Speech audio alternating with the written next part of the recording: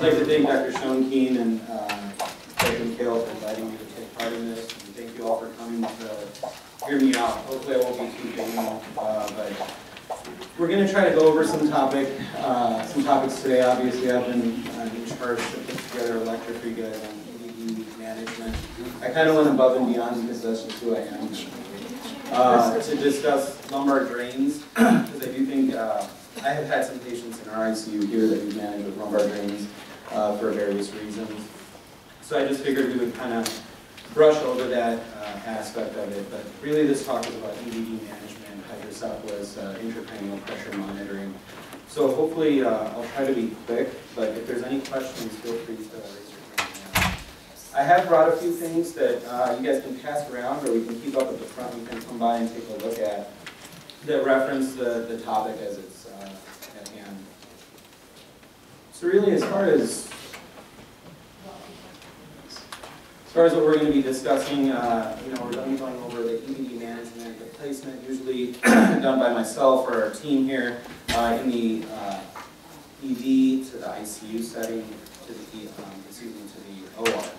Uh, lumbar drain management as well, the equipment that's associated with that, uh, and then, you know, we will, I'll brush over CSF's uh, sampling and testing, but we usually do that uh, kind of again, uh, that's done by myself or our team here. We try to minimize the amount of people that uh, kind of do CSF sampling to obviously for epidemiologic reasons to minimize infection, which obviously as we're going to go through is probably the biggest concern when related to EVDs and lumbar drains as they're located as a in more invasive uh, procedure. So just to kind of go over the basics, or basic science, you know, CSF is, as some of you have seen, colorless, clear fluid produced in the choroid plexus, uh, which is located within the third and fourth ventricles. We make about 500 to 600 cc's a day. The easiest things, is we're all Chicagoans, the majority of us, uh, 23 cc's an hour. It's easy to remember, Michael Jordan. That's really what's produced. So it's important to, re to remember that because it's really important to understand when drain, in the drainage of patients. You know, we usually write a standing order with the majority of our patients when we manage uh, EVDs is to notify the physician or to clamp the EVD device when greater than 30 cc's a shift, or 30 cc's, excuse me, an hour, uh, is uh, produced out of the drainage cavity. Because as you can tell, if you're only producing 23 cc's an hour, you don't want to overdrain the patient for fear of uh, subdural hematomas or other intracranial pathology that can arise. So about 125 to 150 cc's are circulating within the ventricular system or subarachnoid space at any given point in time. And there are four ventricular uh, or intraventricular systems. There's the paired lateral ventricles down through the third ventricle, which then passes via the foramen Monro, or excuse me, via the um, cerebral aqueduct into the fourth ventricle, and then out down into the lumbar cistern. ICP obviously is the reason why we put an EVD in, ICP management or ICP control. There are three constituent uh, portions that really are involved with an integral portion of ICP monitoring. that's your cerebral tissue, cerebral spinal fluid, obviously, which is what gets diverted by the EVD, and then your intravascular volume or intravascular blood. Uh, these are these three things stay in a constant state of equilibrium, and it is when something is added to this process. So some sort of intracranial pathology, whether it's a cerebral contusion, a intracranial bleed, a brain tumor, that then changes your normal autoregulation. I didn't put that slide in here, which I think all of us have seen significantly, is that exponential rise in ICP when the autoregulation is off. There's a very finite line where the brain will autoregulate all these three constituents. Initially, when there's some sort of intracranial process going on, you'll have shunting of blood from your intravascular spaces in the brain. That's the first thing that will uh, happen, or the first thing that the body does. That's why it's important as we go through this talk, you'll see some of the initial interventions that you as nursing staff will do when you have patients with elevated uh, ICP with EVDs in place or some sort of monitoring system, is ensuring that their jugular veins are nice and midline, that their head is straight, so that the passage and the venous outflow is not obstructed, which can erroneously elevate your uh, intracranial pressure. The next thing that your brain does, or your body will do, is shunt CSF via the arachnoid villi. And it can only do that to a certain extent, which then at that point in time is when brain tissue starts moving around, and that's when you get your various herniation syndromes. So what I kind of discussed, that's the idea of the Monro-Kellie hypothesis, that all these components will stay in a constant state of equilibrium, and once the ICP or the pressure increases, those three components will fluctuate or change in an appropriate fashion to accommodate this uh, until a certain point when that cannot be done, which is when we have an exponential rise and something needs to be done by uh, your support staff, uh, which would be your neurosurgical team, uh, either placement of an EVD catheter to shunt the CSF or some sort of surgical procedure, obviously. What is normal ICP? So I just kept this talk to maintain within uh, adult management. I didn't want to go into the pediatric uh, areas because. Um, but we'll just make it easy for you. Normal ICP is 0 to 10. I mean, that's what we're monitoring for and that's what we're looking at. ICP will rise, and that's not inappropriate to say that 10 to 20 is not an inappropriate number, but that's when you need to start monitoring things a little bit more closely with your patients. I'm not saying that you need to call me every five minutes when that happens when they're at 12, but I'm saying that we need to start looking at some other measures to see where we're going, what, uh, what is changing. And it's obviously it's these steady inclines that we need to then concerned for uh, as far as interventions are concerned. Sustained levels above 20, and that's just another standing order for our patients here, is a constituent of a neurosurgical emergency or something that needs to be uh, bumped up the chain of command, so to speak. When I was a resident, my attendings used to always say, when stuff's going bad at night, load the boat, so call everybody? You don't want to be standing there by yourself trying to maintain or manage these things. So just because there's a standing order in place or some form of algorithm that everyone lives by algorithms, something that we've decided to institute doesn't necessarily mean that a phone call shouldn't be done, just to kind of assess that the appropriate measures are being taken. So moving forward, as we discussed, this Monro-Kellie hypothesis and that, that kind of doctrine, so to speak, is really what we all abide by in neurosciences, and that's why we get into placement of EVDs is to management of cerebral perfusion pressure. So these are things that you're going to be constantly monitoring, right? Your ICU patients have monitors in whether you're assessing CPP by a central line. Art lines, hopefully, usually all of our patients that have EVDs in place, we try to be as invasive as possible in trying to manage them by placing art lines and doing other things that are necessary because those patients are pretty sick. So you want to know your map and you want to know your ICP. When you get an EVD, an EVD is placed, it's attached to a transducer that gives you a direct ICP recording, and then that gives you your cerebral perfusion pressure. There's a lot of kind of back and forth in the trauma literature as far as the importance of cerebral perfusion pressure. Whether it's more important to maintain a CPP above 50 or 60, as you can see here, normal 60 to 80. They say not to push it too high because if you're pushing the cerebral perfusion pressure too high, you'd be like, oh, why not 100? You're also causing a significant increase in the intravascular pressure, or your mean arterial pressure, which can potentially lead to a significant amount of pulmonary edema. That's one of the most treated, or the uh, largest complications with uh, precipitous or uh, steady increases in ICP. So that's why there's, or CPP, excuse me. That's why there's this uh, kind of window of opportunity to maintain adequate cerebral perfusion. As we discussed, what are the things that can potentially cause elevations or rises in ICP? You're looking at your cerebral contusions, hematomas, intraparenchymal, uh, epidural hematomas, subdural hematomas causing shift. Your tumors of any sort, uh, infarcts can also potentially rise and cause that. And that's obviously, I think, the topic of conversation today with strokes and MCA infarcts. Fluid overload can definitely be of concern propagate the situation, but it's not like fluid overload is the only constituent component. But that's why it's important that in these patients, you monitor CPP and maintain that at a normal or normal amount. Positive end expiratory pressure, peak at the end of a pulmonary cycle for ventilated patients is definitely a potential cause because of that positive end expiratory pressure then causes a backflow uh, causing venous hypertension, which subsequently then increases your ICP. So it's like the idea that like what's connected to the, everything's interconnected here.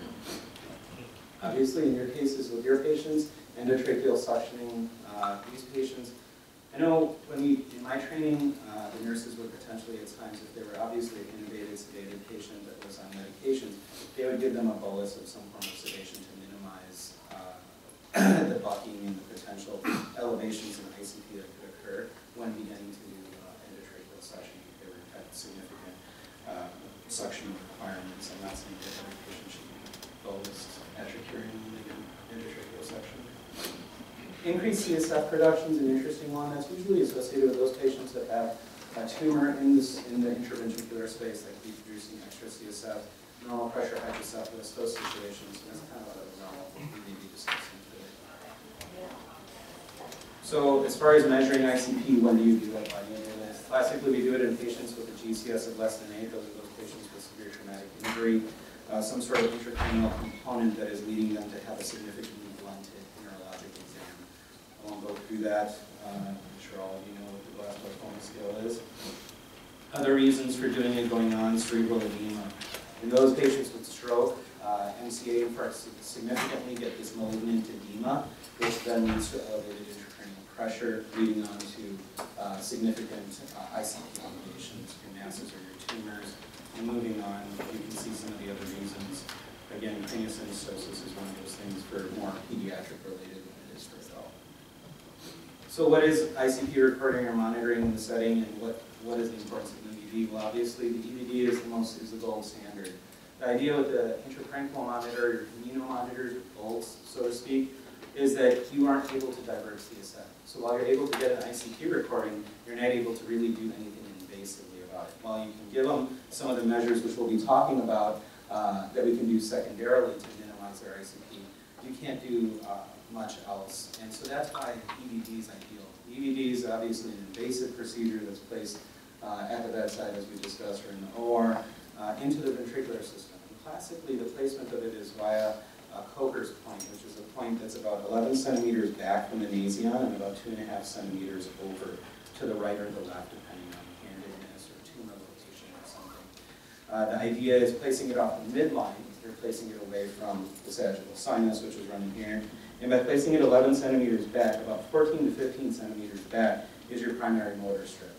So obviously you don't want to place it close to that for either hematoma forming right at your catheter insertion point that then leads to a potential injury to the motor strip, uh, or obviously going straight through the motor strip and potentially leading to injury. The EVD is then tunneled out the skin, connected to a trans uh, to the Becker drainage bag, which I've placed here. And like I said, you guys can pass it around. I think if I, I'm sure many of you have seen them.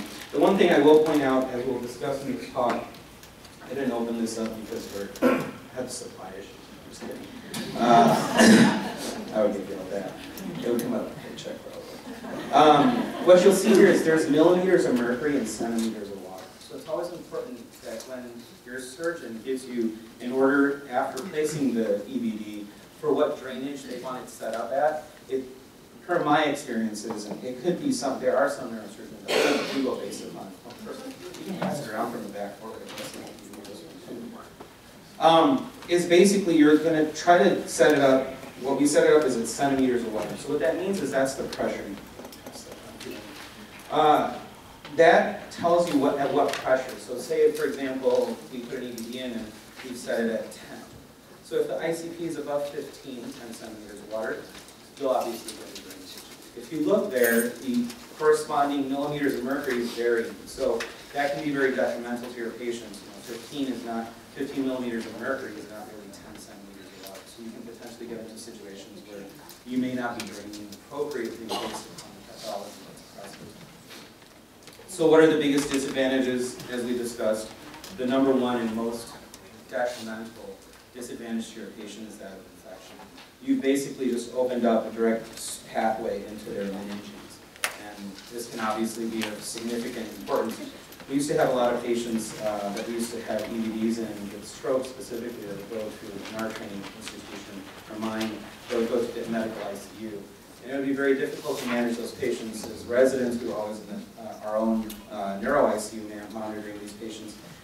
We ended up getting a bunch of patients, and I think I've told this story multiple times, so forgive me if you've heard this, but we ended up having a run in residency with a lot of uh, Uh, e. coli meningitis. We didn't know what was going on, and so epidemiology got board and started watching us and making sure that I wore a mask and gloves and da da da And what we found out is those patients, unfortunately, and this goes on to what we were going to be, as we're discussing today, is maintaining your EVD in a very sterile, as sterile of an environment. So you, if you take those sterile sheets or something to wrap around it, not connect it to the rest of your tubing. We found out some of our obviously very intelligent, awesome MICU nurses had unfortunately been taking our EVDs and wrapping them with the ET tube and the NG tube in one whole bundle. And so obviously the GI system attached to the EVD, next thing you know, patients are pretty septic and sick. It wasn't a good thing. I still got checked out for it. Um, so infection, suffice it to say, is the biggest and most important thing. So it's important that if your uh, physicians place these catheters and don't tell you otherwise, uh, ensure that they're on some sort of uh, appropriate prophylaxis, antibiosis, usually we do Ancef for something of that nature. For fear of uh, time, I will just jump over the lumbar drain stuff. I know I probably you. Um, so what is the purpose of ICP monitoring? Well, ICP monitoring, obviously based upon what we just discussed in the basic science portion of this conversation a few minutes ago, is to maintain and understand your components of CPP. Now you have a map, you have your ICP, you can appropriately manage CPP. And I think I didn't touch on it, but that's, it is an important thing. As we discussed, the trauma literature is going back and forth uh, about what's more important, maintaining an appropriate cerebral perfusion pressure or minimizing ICP. And what they really found is that it's the abrupt increases in ICP that are more detrimental to the patient. So even if your ICP is 15 and your CPP is 55, there's no reason to like chase it. There, you, what they found is you don't necessarily need to chase the CPP. If your ICP is maintained within a normal range and there's not significant fluctuations, those patients end up doing much better. And they don't do as bad as those patients where you're constantly changing the cerebral perfusion pressure. But obviously, as you can see, in that component, there's things that you'll be able to do. By increasing your intravascular volume, if the CPP is low, you can increase the MAP, which will help your uh, cerebral perfusion pressure in the settings of elevated ICP pressure. So it's, it's constant thing that numbers game and fluctuating things to the state of equilibrium. CSF, uh, removal of CSF is one of those things, I think, you know, we do that with lumbar drains, we do it with our EVDs or our setups. The thing to maintain is complete sterility of the system. That's why, again, we realized, again, training per personally, uh, that you only have one or two people that are CSF from your patient to be sent for specimen culture. And that's only done, in my experience here, in my uh, work here, I only do it when patients have elevations in temperature or there's concerns for infection. We used to do it on a routine basis, every three days, you could say. Some surgeons still do that. I think though, you know, we're all creatures of habit to a certain extent, and it's something that we learned and we were trained with, but I don't think it's necessarily appropriate, because obviously if you have a normal health, a normal patient, in the sense that no infection or site of infection, and you're constantly drawing CSF from the corpse, there's more potential for you to introduce infection into the system than there is from them getting an infection. So We've kind of minimized that personally, and with our team or my team, it's just myself and my physician assistant that draws CSF. I don't, we used to have a nursing staff, uh, we would educate them on how to do it, but we realized that um, obviously, right, more people, more hands in the pot, more for issues. So might as well take the responsibility on myself and my team to manage that. Um, you guys are getting this right now. So people that are managing EVDs or lumbar drains are going to be specifically trained in their area or competent in that management. After this, you guys are all going to be geniuses Maintaining optimal cerebral perfusion, as we discussed, is probably the most paramount thing with ICP management. You're able to divert CSF and thereby minimize those things that are elevating your intracranial right? Cerebral perfusion is associated with your brain tissue perfusion, so Monro Kellie doctrine, as we discussed, elevations in ICP would cause fluctuations or elevation in CSF, uh, would potentially cause movement of brain tissue and auto, cerebral autoregulation with blood flow. So it's important, all those components act in, in unison with each other, so it's important to work with those as they increase or decrease and appropriately manage those. You're going to be monitoring your ICP on an hourly basis. Uh, the system is set up in such a way, if you haven't utilized it, that uh, you will have a constant ICP recording depending on how you set up your A-line system that is attached to the Becker drainage bed. You can always, and you should always, clamp the system and check your ICP on an hourly basis. I wish I had a patient here in front of you because I can show you some of the tricks that we have in able, being able to assess if your waveform's dampened and just being able to see it. But if you, the one thing you can do is when you have your transducer set up, you can turn the stopcock away so that it's going straight to the transducer and you get a direct ICP recording. But if you turn the stopcock and you go back to drainage, If you take your, you maintain everything at level. So your leveling is going to be at the foramen of Monro, right? So where the patient's positioned at their tragus or right at their external auditory canal. This best gives you the intracranial component of it. It's set up at foramen of Monro, which is right at the level of your third ventricle, which is where the catheter should ideally be placed. But what that does is, if you turn it away, you see as it's being passed around, if you, if you unclamp the and you just raise it up, you'll see the fluid column within the, the drainage system go to a certain level, and it'll hover at that level. And if you look quickly over, you'll see that it's at 18 millimeters of mercury or 20 millimeters of mercury. That's like the cheat, so to speak. So if, your if your monitoring system isn't working, that's a good way of double checking after you check with your monitoring system that your ICP is in accordance and the fluctuation should be ideal.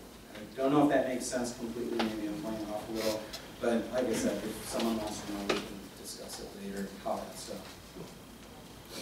So again, the things you're going to be looking for is inspecting your EVD site. Infection, infection, infection. There's nothing else I can tell you. That's the biggest component of this that worries most of us or gives us not enough sleep at night. Um, is inspecting your insertion site, making sure that there's no cracks, dressing is placed, and I think it'll say it in a second, that you know, usually we change it about every 72 hours, unless it's saturated. Obviously, then contacting your team and having them come by and appropriately changing the dressing without causing injury to the catheter itself. What things can you do to minimize elevations in intracranial pressure? So obviously, this is, I think, the first and foremost. Making sure that your patient's head is appropriately maintained, straight midline, so that there's appropriate venous return via the jugular. There's a step maneuver, and I know it sounds barbaric, but one of the measures is you can place, and this was done obviously, both hands on the jugular and the you'll see an acute rise in ICP. So that right there tells you that you have a, a component of cerebral autoregulation that's working appropriately. I wouldn't recommend going in and choking your patients.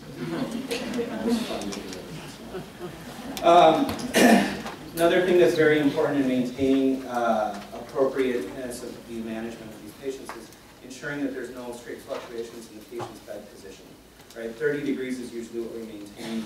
I think our beds now are appropriately locked. Uh, you can minimize that. You guys have locking mechanisms uh, so that families can come in there and say that, you know, grandma likes her sleep number at 32. um, obviously, I'll show you a few waveforms, and I think for sake of time, we have to probably progress pretty quickly through this. At the end, I'm going to show you a few waveforms, and you're going to see an appropriate waveform with three appropriate notches associated with ICP management. And you'll see what I'm talking about when one waveform rises above another. It should be one of the first signs that there is something, or some sort of intracranial pathology is occurring causing an acute elevation in ICP. Other things you can do, light noise. I mean, we used to do this back in the day, our attendings used to talk about it all the time. You know, patients with subarachnoid hemorrhages, for fear of them not rupturing again, putting them in a completely dark, quiet room. Sometimes there's some research out there, I'm sure you've seen, that talks about you know, playing some soothing music, put the hand in done with that. But monitoring your labs. So another measure that most people use is then increasing your rheology. Mannitol is a great medication that's used to diurese the patient, decrease the intravascular volume, but it can also minimize intracranial pressure by shunting fluid. And there's other methods that mannitol works, and I think that's beyond the scope of this, but it's one of the primary measures instituted by many people Hypertonic saline is another one that kind of falls in the mannitol area, which I like to use because it also increases your intravascular volume. So your traumatic patients, that's kind of nice that come in that like you know, alcoholics that got hit, that are dehydrated, and you give them mannitol, it's just going to bottom the pressure out. 3% is great because you increase the intravascular volume, but at the same time you pull fluid off the brain, so minimizing ICP. Urine output, obviously you want to monitor your urine output with these patients, uh, and this is kind of going towards the idea of GI or diabetes insipidus in patients with elevations greater than 200, 250 cc's an hour or every two hours with a SPECT less than 1005. I think that's something you obviously need to monitor with your serum osmolality, including mannitol every six hours or so. So again, just going through ICP management, you want to monitor and maintain that there's no significant stimulus if your patient's sedated and intubated, making sure that the appropriate sedation is on board and that it does not uh, stop for any reason or increasing your sedation to whatever you guys use in your institution's VAS score, RAS score, whatever it may be. Confirm an appropriate volume status. The- That's obviously important, again, going back to what we were discussing earlier, in maintaining an appropriate intravascular volume. You don't want to give someone mannitol with a CVP of two, that's just going to make for a bad situation. I think when you look at some of the absence of ICP waveforms, you know, air bubbles or clot debris within the drainage system, that's something to contact the team that's there so that we can come, if we need to, appropriately flushing the system. No one ever tells you to attach uh, flush to the system and try to correct that appropriately. I think that's something that uh, the primary team that places the catheter should be involved in. Again, I can't stress it enough, infection's the biggest thing that concerns all of us when it comes to these catheters, uh, so it's maintaining sterility. The one that's up front here, in fact, is a rifampin and minocycline coated uh, catheter, which is great because it potentially uh, can prevent infection tracking on your tubing. Unfortunately, it also can potentially cause resistance to occur and get even more superbugs to uh, be a part of that uh, process. So we rarely use the rifampin coated one, but it's good for those patients that have had persistent infections and still need PVD placement. Um, how much time do I have? One minute. One minute, perfect. So we'll just move forward. Uh, Really the biggest thing, I think, when you go to the end, here you can see a picture of a patient with a uh, system set in place. Uh, Right there, you can see is where you want to make sure that they're leveled off appropriately right at the foramen Monro. This is in fact a little low, if you want to be nitpicky about it. Some of the newer systems have laser levelers. I would recommend getting one because it's fun. Uh, Otherwise, uh, you can just get, uh, I think, just a level and put it next to that, or you can do what I think maybe one of us did in this patient, which is just earshot it. Uh, Here you can see, I mean, not the best way to set up the system. Uh, There should be, what I was talking about is, you know, ideally some sort of sterile dressing wrapped around the tubing. Uh, This is not a big deal, but, you know, as long as not an ET tube or something's attached to that. And then you can see the rest of the system just real quick, because I think that's probably the most important thing as far as things that you're going to be looking at uh, on a case-by-case basis with your patients is going to be your waveforms. And I think that's very important when you look at it. You have three waveforms, a P1, a P2, and a P3 waveform. Not to get too far into the science of it, everything is kind of a crescendo that's declining in a normal patient. So here you have a compliant brain showing you the normal waveform, an elevation in P1 with a dicrotic notch P2 and then P3. You'll see this waveform appropriately and it'll mimic your heart rate as a matter of fact in your patient. If you start to see a precipitous incline of P2 against P1, that's when you know something bad's happening. That's one of the first things as far as waveform.